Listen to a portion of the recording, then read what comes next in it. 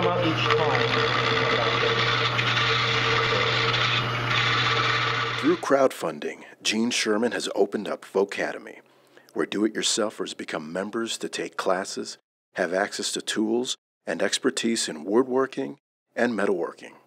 Vocademy is a makerspace, a place where anyone can go and create anything they ever desired by learning the skills that we teach here, from wood shop to metal shop to 3D printers and sewing this is a place where you can come with no prior experience and learn these skills. But we're not a school. We're more like a gym where you become a member and take the classes you want to take when you want to take them. And unlike a school who always kick you out when you're done learning, we insist you stay a member, keep coming back, and using those skills to create anything you ever dreamed of. For photographer Kurt Miller, this is Angel Ortiz for the Press Enterprise and PE.com.